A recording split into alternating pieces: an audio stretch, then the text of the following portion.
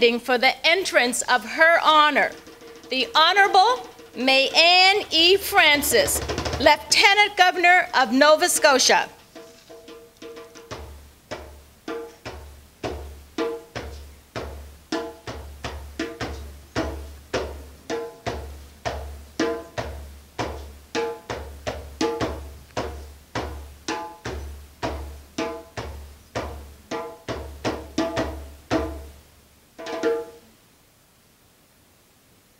Thank you. You may be seated.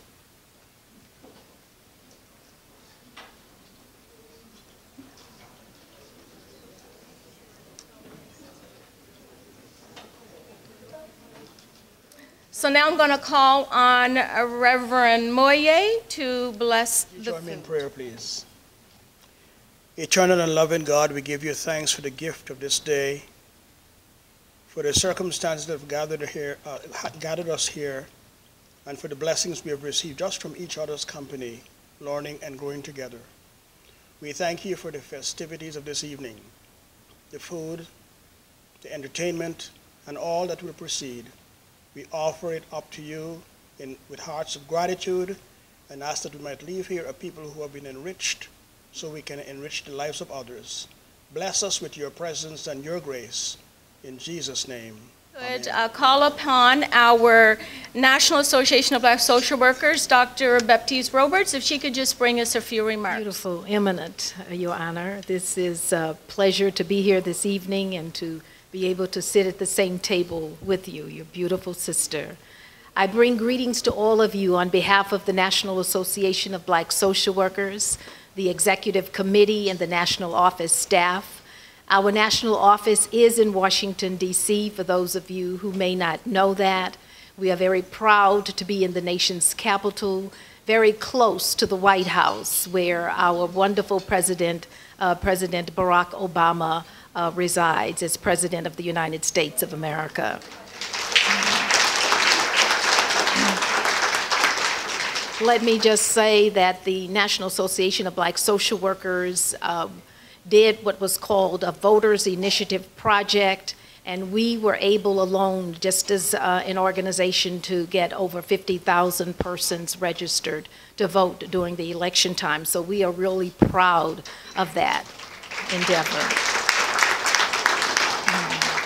I would like to commend the uh, Nova Scotia chapter for 30 years of uh, service to this community. I think the founders who are here, uh, Dr. Shirley Better is uh, one of our founding members of the National Association of Black Social Workers. She, workers. she resides in Los Angeles. And um, all of the other founders from Nova Scotia, it was just so heartwarming to have all of you here in our midst to share that wonderful history with us and to have our young people here. I, I commend the chapter for bringing in all the young people so that they could partake of that history and hopefully will go on and carry on the torch after all of us have long gone. I just know and feel that the organization is stronger by having both of you here at this conference. And I commend the president. Um, I tell you, Sister Wanda, your group, uh, Veronica is conference chair, immediate past president Winnie, and all of you, the whole conference committee, for an outstanding and wonderful conference with the theme. And the theme has been delicious, absolutely delicious, linking borders. And we find out that we have so much in common, uh, that we are truly of, of unity in the spirit of Harambee, the Swahili word for pulling together. And you have definitely shown Harambee spirit throughout this conference. I would like for all of the members who have come from the war, across the waters of the National Association of Black Social Workers, who are here from California, who are here from New Orleans, Louisiana, who are here from South Carolina. Would you please stand and be acknowledged that, that you have come from Mississippi, from Washington, from Boston, Boston, Massachusetts, Ohio. We are here in the house. And I thank all of you in ABSW for being here this evening. Another Ashe. thank you that we want to make mention of is to our uh, leadership. And when I say leadership, I mean our pastors that are here and that continue to support us. Um, I see uh, our AUBA moderator in the house, Sister Alma. Thank you for your support. Reverend Beals, thank you for yours. And Reverend Britton, you as well. Thank you so much. And we look forward. Uh, did I miss any other pastors? Reverend Moya, you already met? And we have uh, another pastor here in the house, Reverend Gilliard, who's actually a part of the conference, like Reverend Moye. He's here to put on a workshop. So thank you, Reverend Gilliard, for taking your time um, to come and be a part of our conference. And we look forward to your message Sunday at the Beechville Baptist Church uh, as they celebrate their 165th um, anniversary. Little plug for Beechville in the house. But the, uh, we look forward to working with our pastors as we continue to work on the many of the social issues that are in our community. So thank you so much for your support and your attendance at our conference. Lift every voice and sing, tell earth and heaven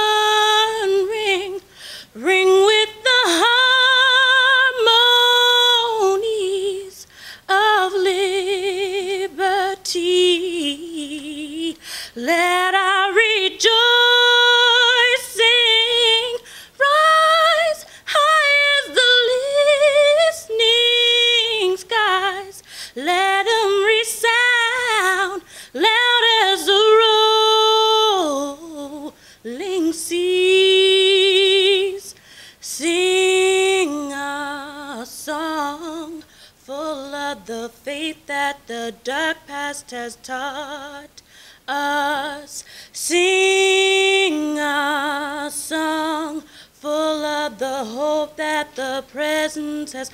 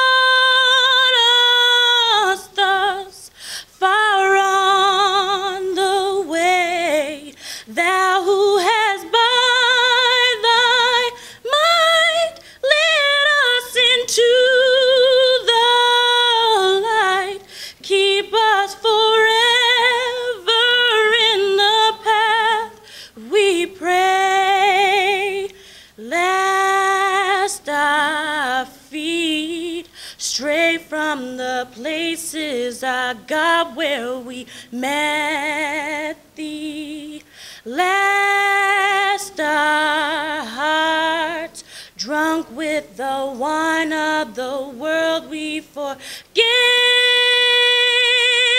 Thee. Shadow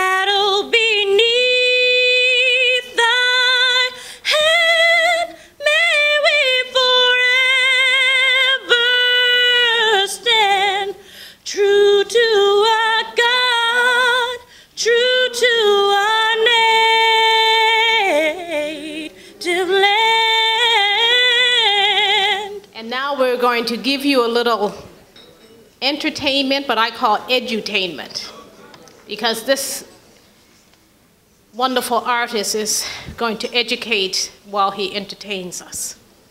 We are very, very privileged to have with us this evening world-renowned spoken word artist Marvin Trim. Marvin Trim is, a, is from Bermuda, and he has performed his spoken word all over the world.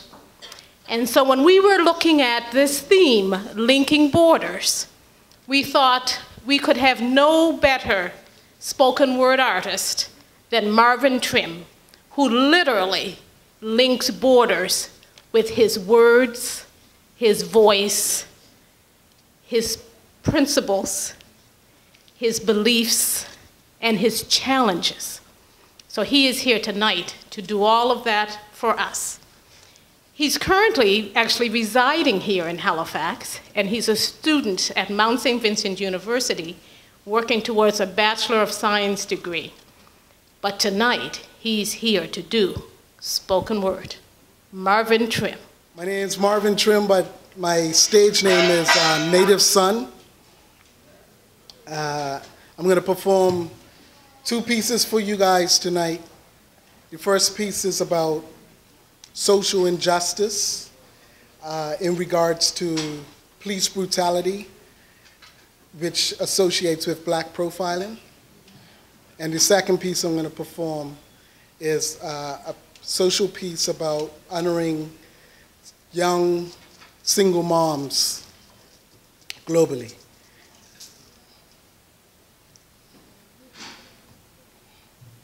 Code Blue. Let me CPR you.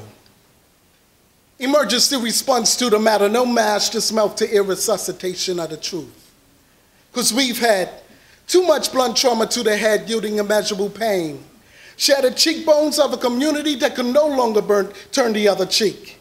Concussions bear frustrations, actions of the corrupt, bruised black egos. Must we endure years of brutal beatings? Skeletons left in closets, an autopsy of profiling race. Years, black, years of black eyes closed to closets of broken bones. Cracked ribs that guard the twisted arm of the law that has no leg to stand on. To break that code of silence, we need to break that jaw. Flesh wounds abrasions, split lips, contusions like valleys and mountains, red sea of blood staining pavements, broken vessels of untold truth. Silence is blue face strangled in the midst of bold faced lies. You have a right to remain silent. If you give up that right, silence will be provided for you through excessive, impulsive baton, taser, pep spray, foot fists. This reinforces silence, and if that don't work, a chokehold that signatures with ligatures squeezes necks and seals lips. Bad boys in blue beat skin black and blue, sipping their coffee black while blue lights ricochet off black pupils of young black people assuming the position. Bad boys, what you gonna do? Cause we not afraid. What you gonna do when we come for you? It's been way too long to be strong armed by crooked cops in the black communities. Black white chalk crookedly outline of black asphalt drawing a figure of speech. Another voice lost through crooked judicial systems that embellish police reports to cover up crooked officers officers with the badge of dishonor, a judge by a judge to be man of honor, who judge by environment, clothing, color, color them bad black criminal just because. Your Honor, I put to you Exhibit B, the disfigured face of police brutality. From Halifax to Vancouver, from Watts to Flatbush, from the Caribbean to the African continent, beatings bleed out justice. No band aids or tetanus shots to stop infectious brutality. Please take shots, they feel immune to community. Whatever happened to unity, to protect and serve? Got nerve to badger the bad guy who acts for your badge number badly beaten. I wonder who's actually the bad guy, who's protecting who. Protected police reports mirror medical charts that are justified with so called justifiable force. How many bashed heads have been bashed in by police force? How many Rodney King beatings and Sean Bell shootings are justifiable? Blue face justice gasping to breathe. Let me CPR you. Emergency response to the matter, no mask, just mouth to ear resuscitation of the truth. Truth is, Bad boys wear blue, devils in blue dressed to kill, packing heat and cold steel, leaving toe tags like graffiti artists across inner cities. While the community rises and raises voice, there is no such thing as routine traffic stops, racially charged stop. He screams, don't shoot, but the cam still shoots. Shot in the back, shot in the front, victim's eyes shut, officer's mouth shut. While the camera still shoots, the case is closed Shh. But we got the photo shut, so let's start exposing. We can still see through that swollen eye of justice, still break bones of intolerance, magenta reds of bashed heads, corrupt silence is cold blue. How many hearts will stop beating? How many medics will scream, cold blue? Thank you.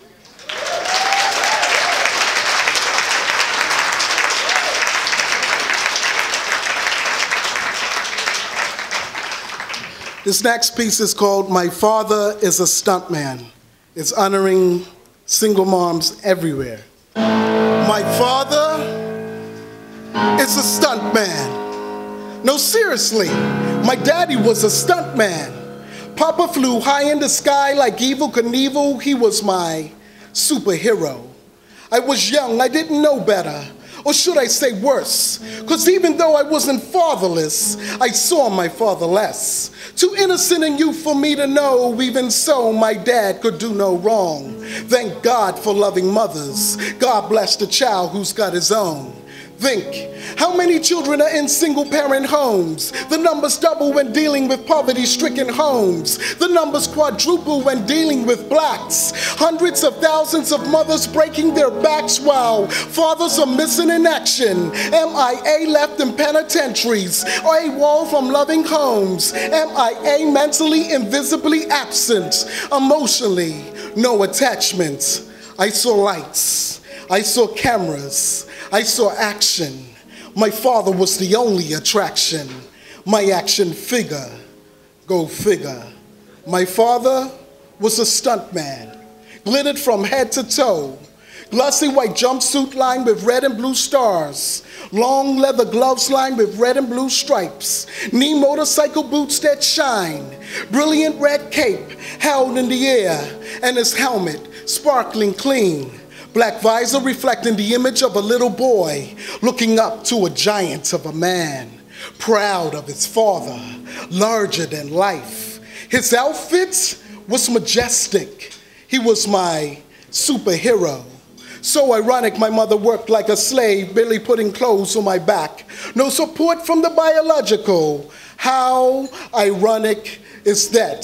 Too young to have a clue, no worries in the world. My papa cannot undo all the missed birthdays on those worst days, devil filled cursed days. But still, those first days that I can remember, he was God. He waved to the crowd and the crowd roared. He started his engine and the motorcycle roared. Flashing lights flashed back to the nights when my mom waited tables to keep on the lights. Bad circumstance with no finance. It's a damn damn nuisance. Flashback to a trial and trance. Dad glances and gives a nod. Full throttle, he leaves the ramp. He's Superman. My papa can fly. Soaring through the air, there was no blink of an eye. Motorcycle wheels spinning as my mom's world was spinning out of control. Simultaneously, my dad leaves the landing ramp and loses control. Mama works hard to gain control, break that financial stronghold. At the same time, my dad topples and rolls. Crash, broken bones, broken back.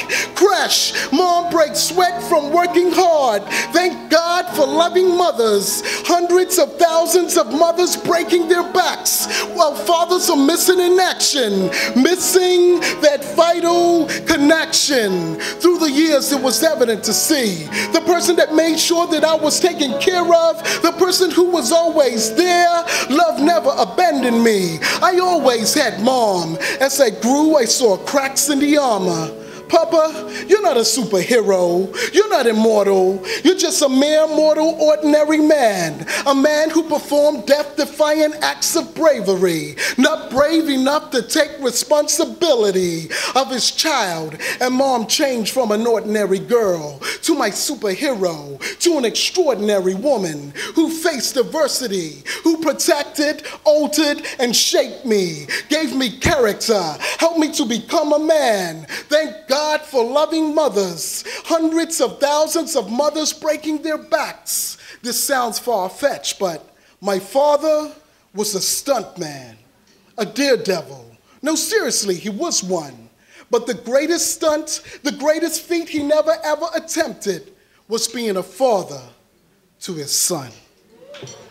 Thank you. I'm going to ask um, Sheena, another one of our uh, Nova Scotia Association of Black Social Workers, to come forward and introduce tonight's uh, guest soloist. Natasha is our conference soloist. She's been with us all weekend, and uh, now we're asking uh, Sheena to introduce tonight's guest soloist. Karen Smith is going to bless us with two pieces of music this evening.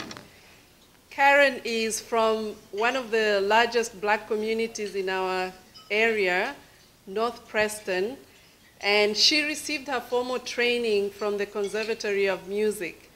Karen is a great musician and she is well sought after in the community and she uh, says that she loves to sing and wants to tell everybody that she loves the Lord. Because of who you are, Lord, I give you glory. Because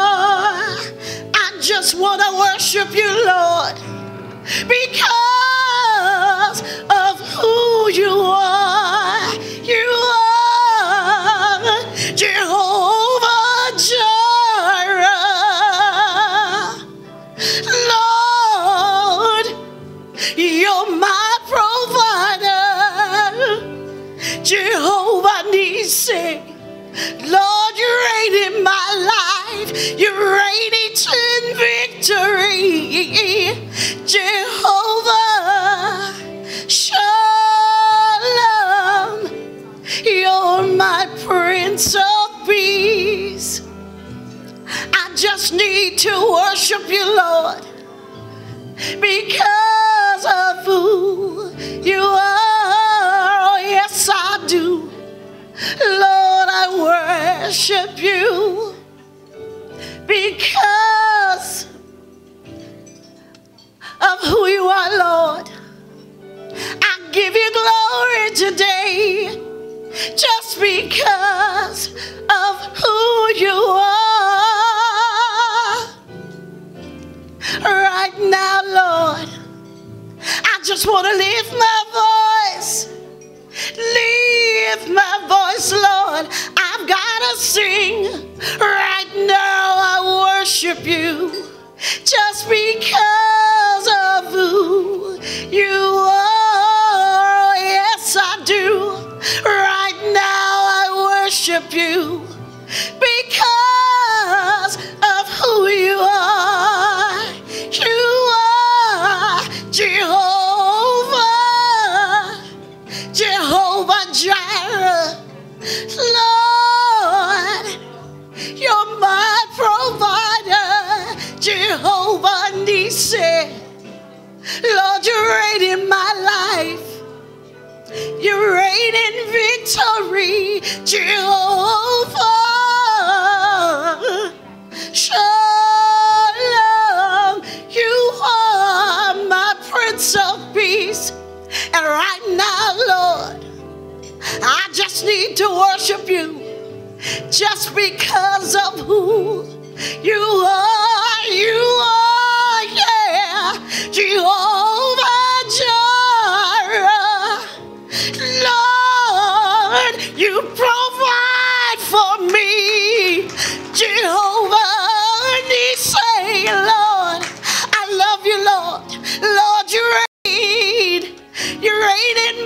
life in victory, Jehovah. Shalom. You are. You're the Prince of Peace. And right now, Lord, I just need to worship you. Just because you're God, there's none other like you, Lord. I worship you, Lord. I thank you, Jesus, for providing for me because of who you are. Thank you, Jesus. Hallelujah. Lord, I worship you today. I honor you, Lord. Hallelujah. Just because of who you are. Hallelujah. Hallelujah. Do we have some talent here in Nova Scotia? My, my U.S. friends, how you feeling right now? Feeling good?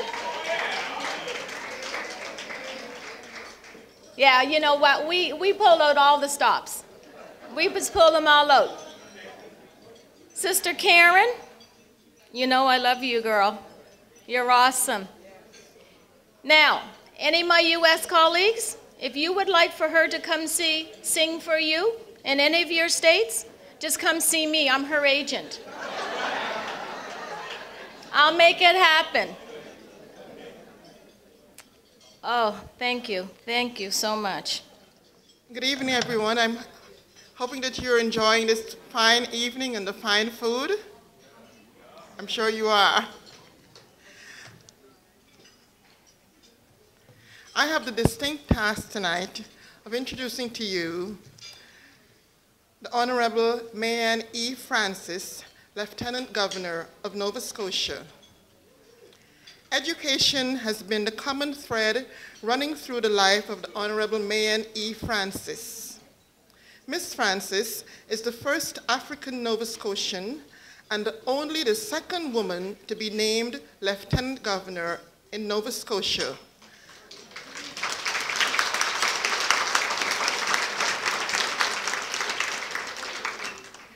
A post that predates Confederation by more than 100 years.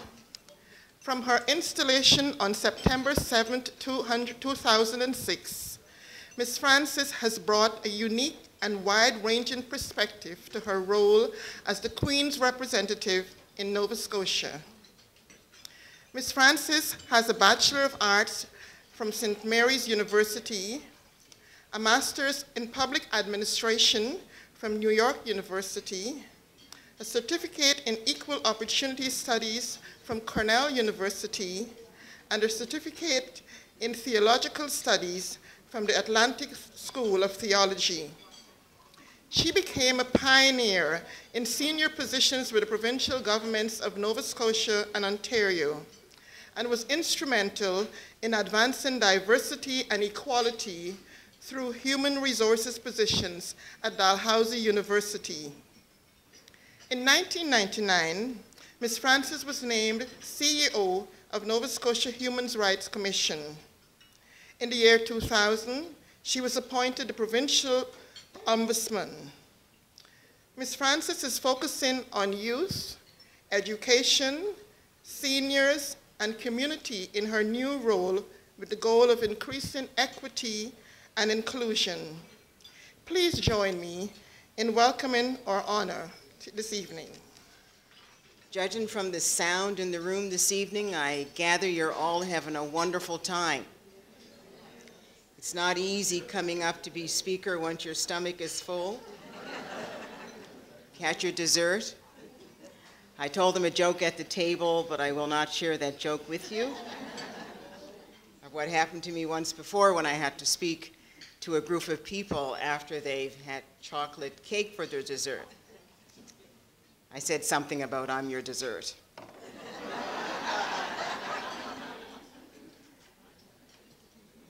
Dr. Bernard, Dr. Baptiste Roberts, distinguished guests, ladies and gentlemen, thank you for this kind invitation to be here with you tonight, and also thank you for the kind introduction.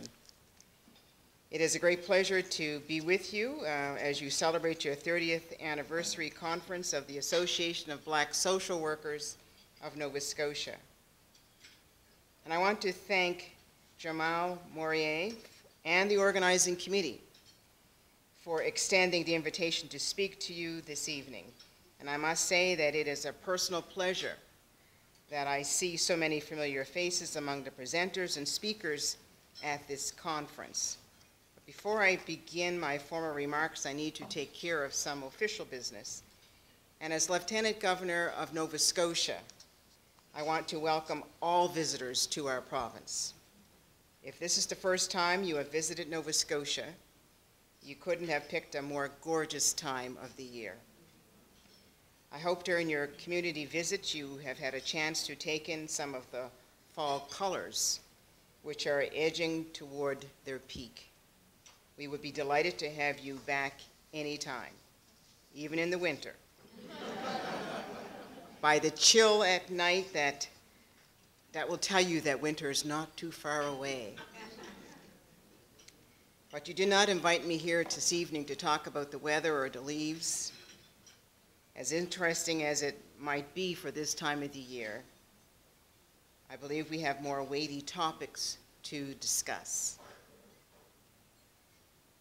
I first want to state my deep respect for the work that social workers do. Its challenges are many, as are its stresses. Rewards can seem ethereal or non existent. And what kind of society would inhabit if social work and social workers did not exist? Well, let's just say Survivor would not be a reality television show, it would be reality. You are called in when human beings are at their lowest. You seek to lift up those who are down, to make right what is wrong, and to fix that which is broken.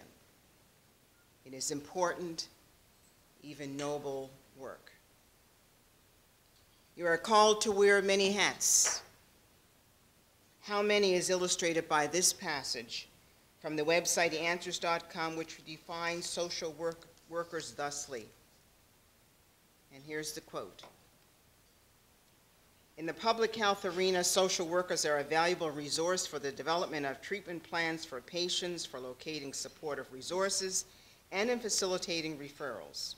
Under the auspices of government and non-government public health organizations and institutions, Social workers often provide behavioral and social assessments along with mental health assessment, treatment, and short-term ongoing case management.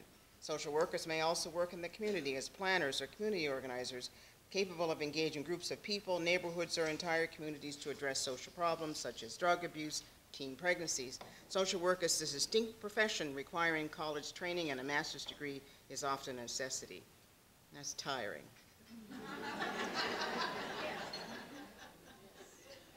makes for a very busy day. But what do social workers really do? What they do is work for social justice. Now, I was asked to speak on global perspectives of social justice. That is a topic worthy of a life's research and study. I have opinions, but I cannot offer a scholarly dissertation on that subject. But what I can talk about this evening is my personal perspectives on social justice, especially on some of the issues that, will be that you have been discussing here at the conference. I think we all can acknowledge social justice itself means many different things to different people. For some, social justice is to be feared because of its notion of overturning the status quo and lifting up those who have been downtrodden. For others, it is something to be embraced because of its notions of overturning the status quo and lifting up those who have been downtrodden. Seems to be two sides of the same coin.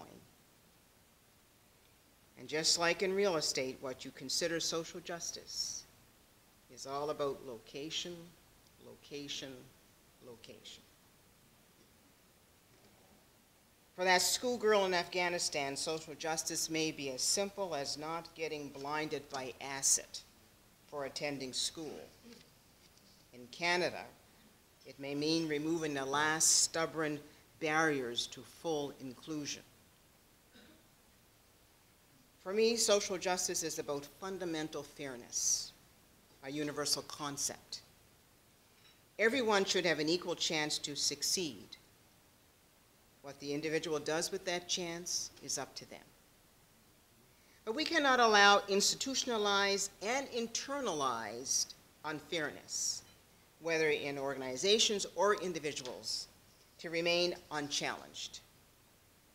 It is conferences like this that help us better understand where the challenges are and how they can be overcome.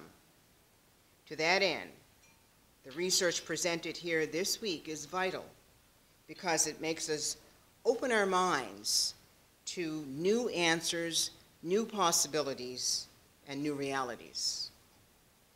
One of the ways we can overcome challenges by seeing things as they are, not as we wish they would be, in that vein, I am intrigued to see a number of your roundtable sessions dealing with the challenges of family life in the African, North American community and the role of black men in the community. I'm also pleased to see discussions on spirituality as it relates to the rise and fall and hopefully rise again of the black church. You are trying to understand why these vital pieces of black life has struggled over the last several decades. Keep at it. It is only by identifying the why that we can begin to understand why not. I commend this conference for seeking to examine root causes, not just of poverty, but of illness, abuse, and other ills that have bedeviled the black community for far too long. You are moving past the superficial down into the reality. This can be a disorientating process if one is not adequately prepared. Poet Henry David Thoreau once said, and I quote, there are a thousand hacking at the branches of evil to one who is striking at the root. Be the one. Because for too long we have tinkered at the edges of the problem, treating the symptoms but not the disease. I believe one root that must be exposed is why so many of our families are struggling, whether single or two parent, traditional or new.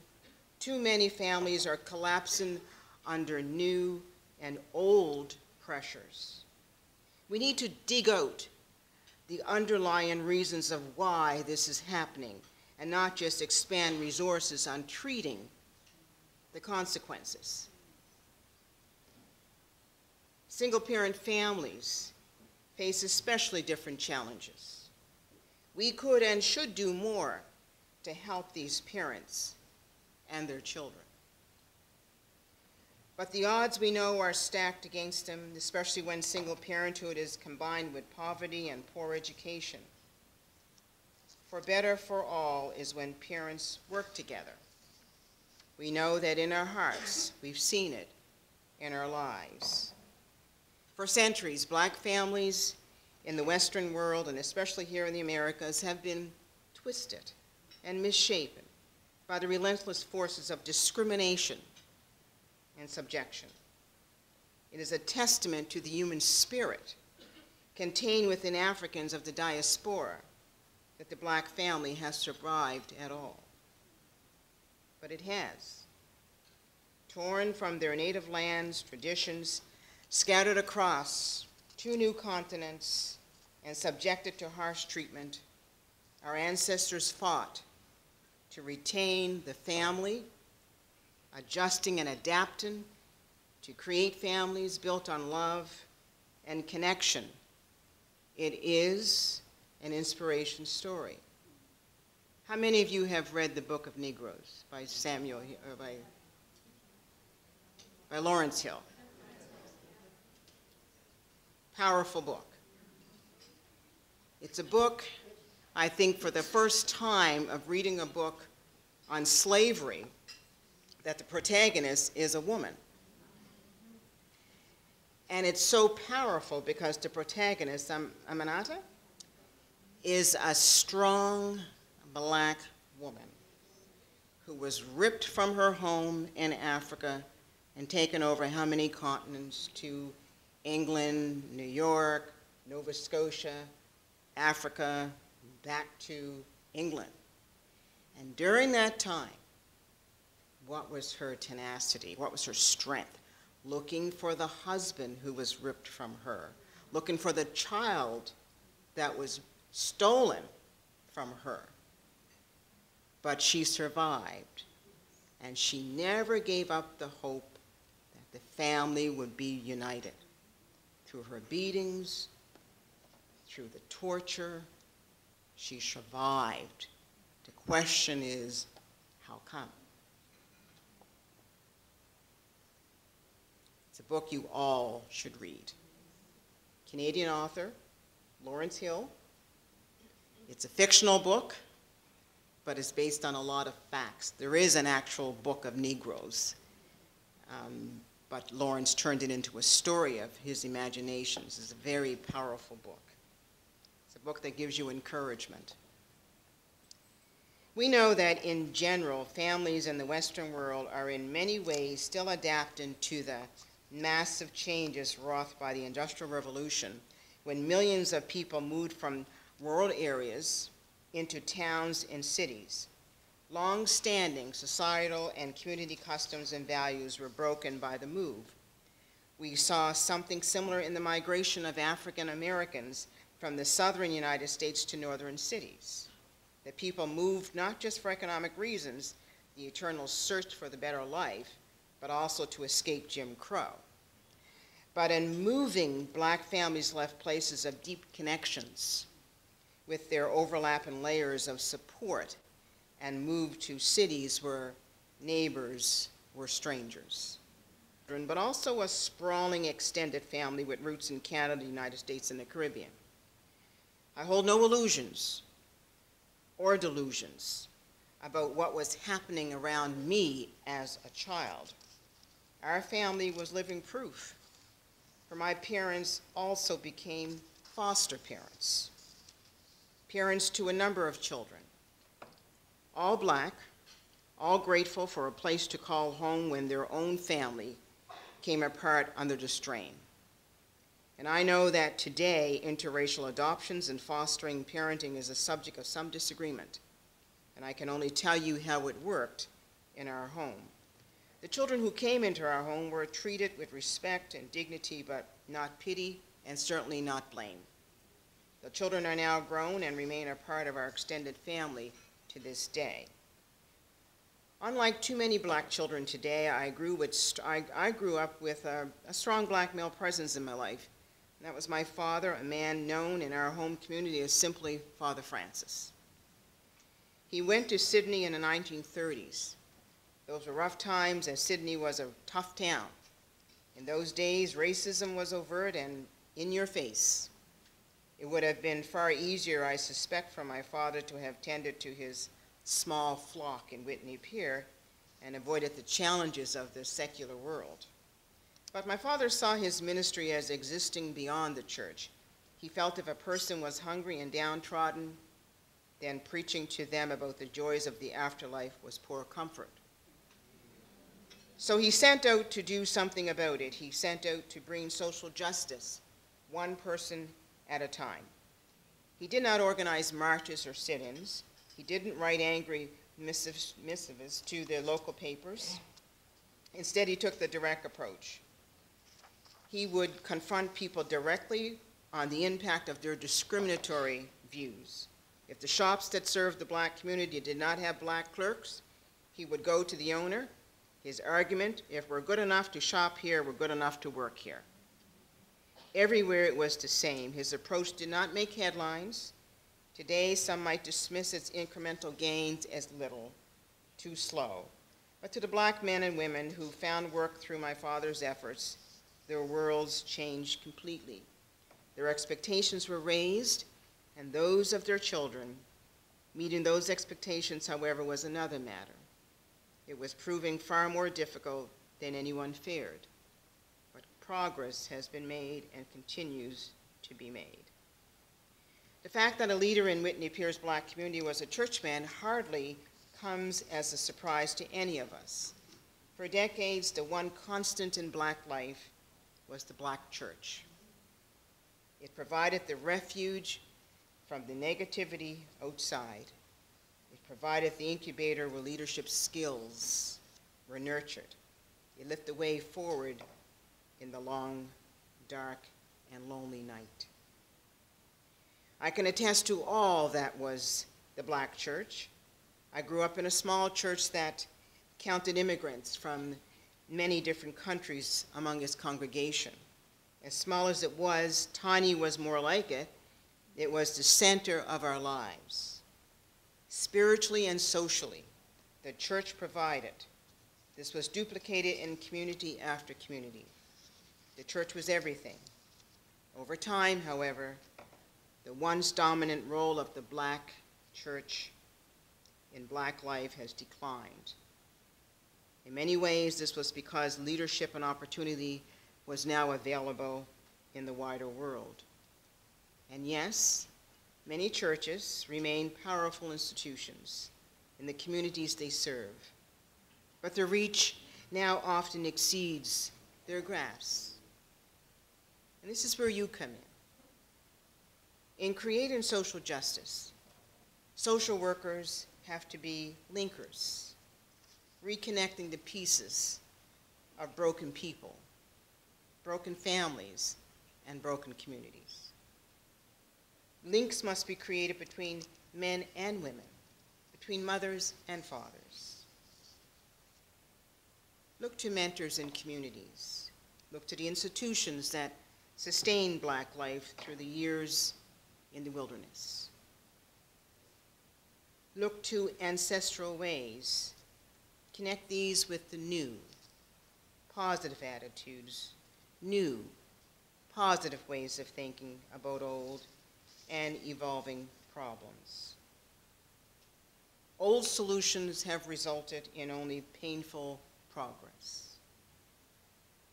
Albert Einstein understood this when he said, Today's problems cannot be solved if we still think the way we thought when we created them.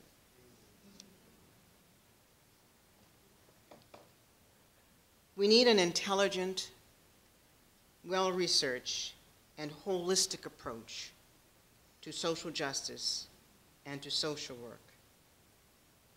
This is the only way to create a better community, a community stronger, more resilient, and better able to meet the expectations of all its people. Since I've been Lieutenant Governor, three years now, going into my fourth year, I've had the privilege of going around this province from one end to the other, literally, and meeting many people in their communities, in their church halls, in their churches of, worship. I believe very strongly that's how you get to know people, is by being in people's communities and in their churches where they, where they worship. And it's such an interesting experience. And it's a growth experience for me, as it is for them. Because you have the opportunity to share something with the people you're talking with. And they give you something back. So you receive joy, you give joy. And you also see the strength of the people in their communities and their pride. Many of these communities have lost their employment, such as fisheries or lumbering, or their children, out migration. But there's still a common thread to some of these communities, and the community that I visited is the, is the coming together and the uplifting. And we as a community, we have that as well. And that is something that we cannot afford to lose. We must look at the strengths that are in our communities, whether it's here in Nova Scotia, Montreal, Toronto, New York City, Washington, Georgia, South or North Carolina. We must look at the strengths of the community and not always dwell on what's bad about the community. I grew up in Whitney Pier, as you've all known, and people would say, Whitney Pier, well, that's a horrible, terrible place. Yes, there were some negatives about Whitney Pier, there's no question about that. And one of my um, fellow Whitney Pierites I see sitting back there would nod her head and say, yes, we were not a perfect community, but there were still strengths in the community that you cannot overlook. You don't deny what the bad was either but you certainly dwell on the good and build it up. But even if you know what the bad is, you try not to repeat it again. So I say to you that your challenge is a big one because as you can see, the world now is much more complex than it ever was 30 or 40 years ago. There's so many temptations for our young people. And when I talk to, to young people and I talk to them, uh, they're grade 11 or so, and I talk to them about certain things, and let's just say I talk to them about technology, and I say, you know, don't be afraid of technology. You must utilize technology, but you must respect technology. You must understand when you push that send button, and if you're not careful, what you've put on that technology, it will remain forever and ever and ever. Maybe you don't think that way when you're 17, but maybe when you're 37, you're looking for that dream opportunity, and someone says, What is this? We want somebody with strong ethics. And how could you have done this? So I always talk to them about being careful about technology. And sometimes, you know, you see the way they sit there, and then I say, look, before you sit there and look at the lieutenant governor standing here talking about technology and what does she know? Well, I have an iPod, and I can, I can down, download my tunes. I pay for them. I've danced Dance Dance Revolution. I've played Guitar Hero and I have a Blackberry. So, can we talk? so then it becomes okay. But, I, but, but these challenges are there, and it's there for all children. But then racial minorities, aboriginals, and other, other children have the double, the double concerns and barriers. So it's about strengthening the character of individuals and people to be able to move forward. I face barriers, here I stand before you. So it can be. And as I was saying to Natasha, you have that dream to sing, you hold on to that dream. You don't let that dream go. You see yourself 10, 15 years from now but the stage is yours. You have the gift, develop it. And I'm sure there are many people around you that will help you to bring that gift to full fruition. So, the one thing I'd like to say is to give you the encouragement as social workers. You are needed in society, whether it's in Canada, England, United States. You need it. You're needed. And we need your skills and everything you can bring to our world that is under such stress now, because your skills are needed more than ever.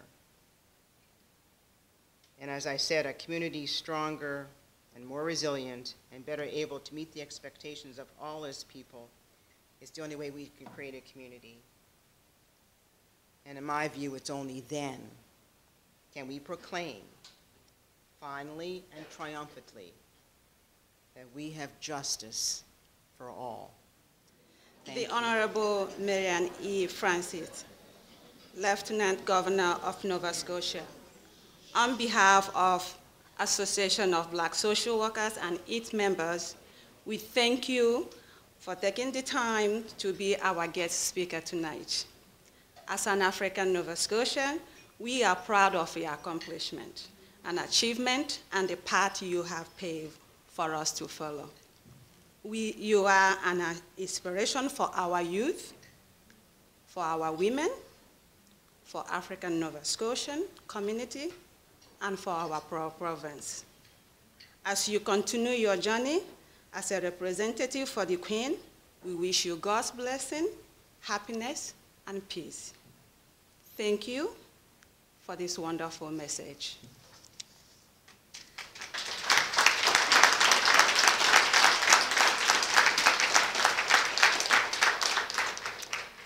I now called on, upon our host, Dr. Thomas Bernard, to present her honor a small token of our appreciation.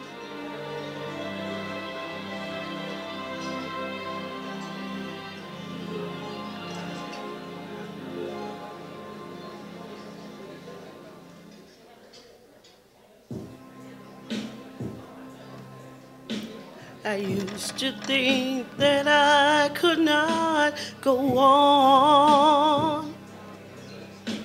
Life with nothing but an awful song. And now I know the meaning of true love because I'm leaning on the everlasting arm. If I could see it, then I can do it. If you just believe it, there's nothing to it. I believe I can fly. I believe I can touch the sky. Think about it every night and day. Spread your wings and fly away. I believe I can soar. I see me walking through that open door. I believe I can fly, yes, I can. I can fly. I believe I can fly. Oh, yes, I can. Well, I was on the verge of breaking down. Sometimes silence, it can seem so loud.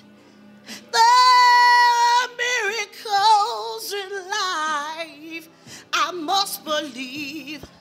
You know what I've learned? It's gotta start inside of me. But oh, oh, if I can see it, then I know I can do it. But I have to believe it. There's nothing to it. And I believe I can fly. I know that I can touch the sky. I think about it every night and day. I spread my wings and I fly away. With the Lord, I know I'll soar. I see me walking through an open door, yeah. I believe I can fly, yes, I can.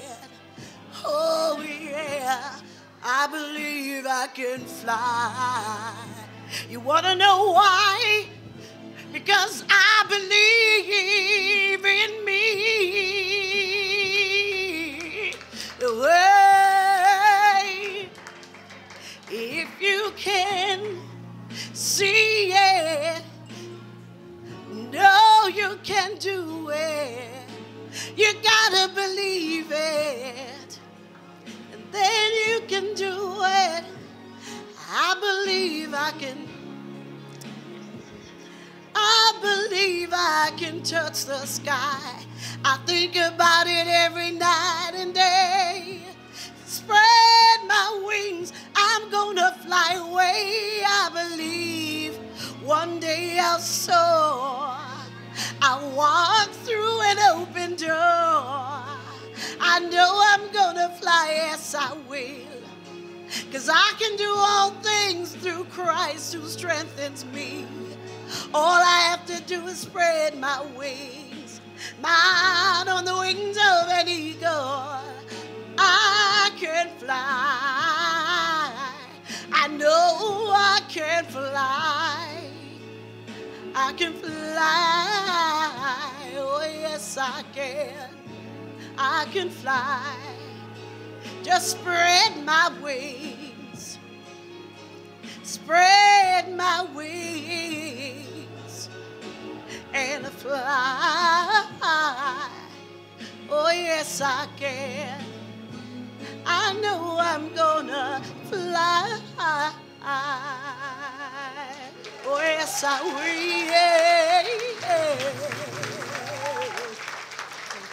So we're going to ask uh, you all to rise as she makes her departure.